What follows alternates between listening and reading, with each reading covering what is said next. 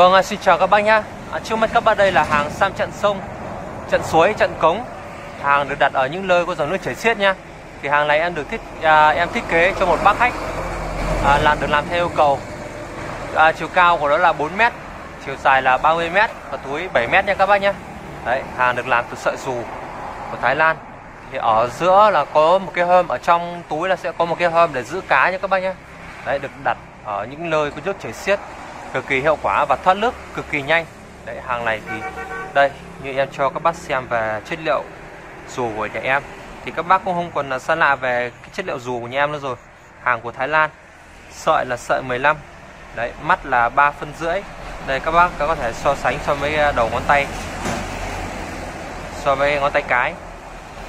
Hoặc là so với hai ngón. Thì là đây là mắt 3 phân rưỡi là hai ngón tay chật nha các bác nhé hai ngón tay chật nhé đấy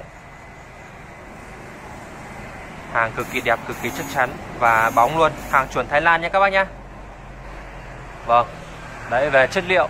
Còn à, về kỹ thuật làm thì à, cái xăm này của em thì là được yêu cầu là làm có thêm à, cái dây phao ở trên. Đấy dây phao làm cực kỳ mau luôn nha các bác nhé đấy hàng dây phao ở trên làm cực kỳ mau.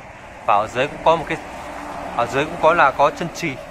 Đấy thì hàng chân trì cực kỳ nặng. Đấy các bác cứ yên tâm nhá. Hàng rất là mau rất là mau rất là đều. Đấy khoảng cách chỉ là 10 phân thôi. Đấy ở cánh thì là 20 phân. Rất là đều rất là đẹp. Đấy thì các bác à, buộc cọc buộc cọc răng ra.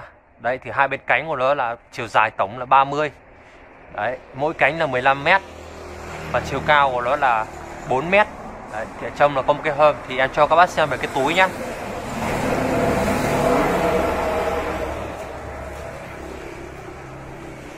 Đây các bác.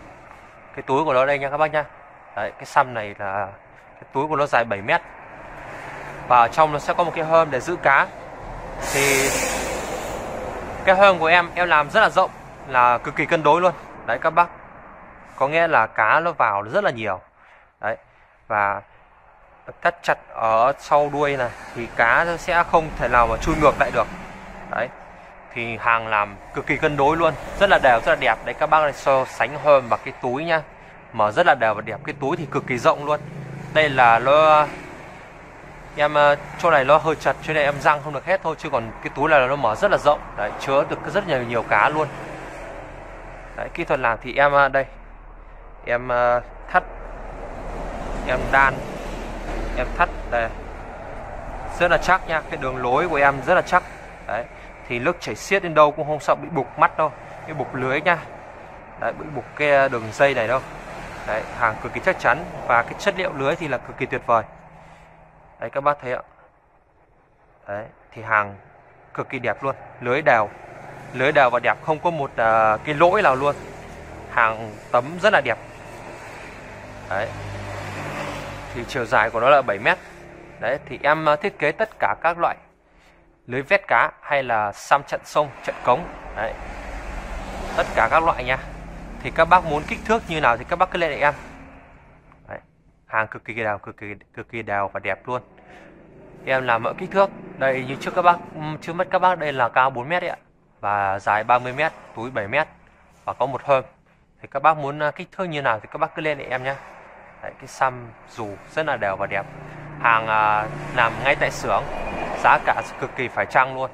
Đấy, thì các bác à, muốn thiết thiết kế như thế nào và kích thước ra làm sao mắt lưới như thế nào các bác cứ lên em.